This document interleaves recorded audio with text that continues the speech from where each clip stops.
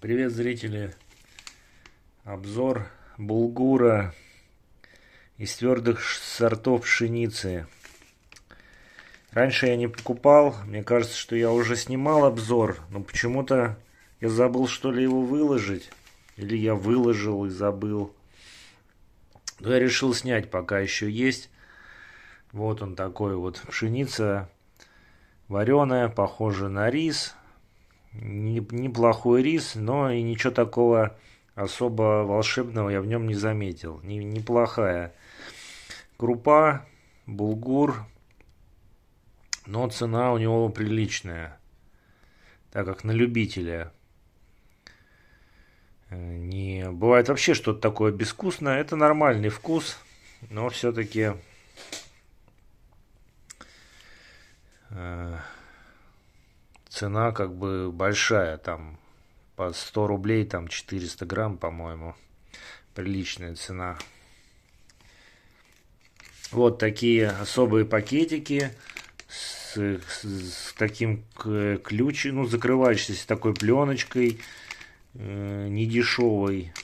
Здесь вот видите, не просто защелкивается такие, э, как прилипалки там, сделано, потратились они. Ну, здесь написано.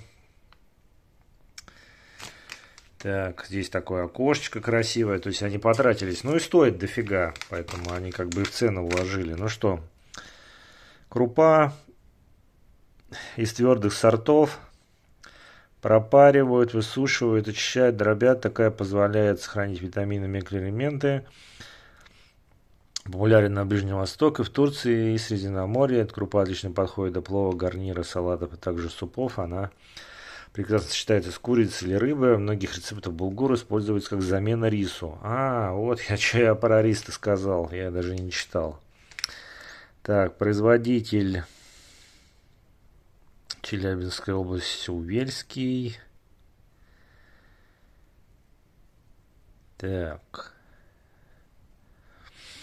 Ну и все, блин. Так, а, ну вот вес 450 грамм. Вот производитель.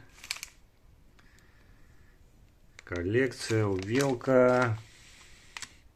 Пакетик, как я говорю, небольшой. Ну и все, весь такой обзор. Блин, я не помню, почему предыдущий. Я же снимал предыдущий обзор этого булгура. Почему я его не выложил и не понимаю, что такое происходит. Наверное, борется мировое правительство с моими роликами. Ну, я шучу.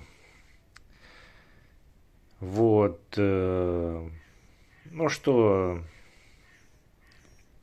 потом как-нибудь еще его попробуем. И затестируем какую-нибудь еще крупу. Спасибо за просмотр. До свидания. Подписывайтесь, ставьте уведомления и пробуйте сами булгур.